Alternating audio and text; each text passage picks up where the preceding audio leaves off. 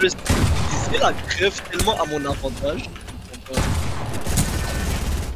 Il y a tellement de fois j'ai dit à mes parents oh my god, oh my god, oh my god, oh my god, oh my god.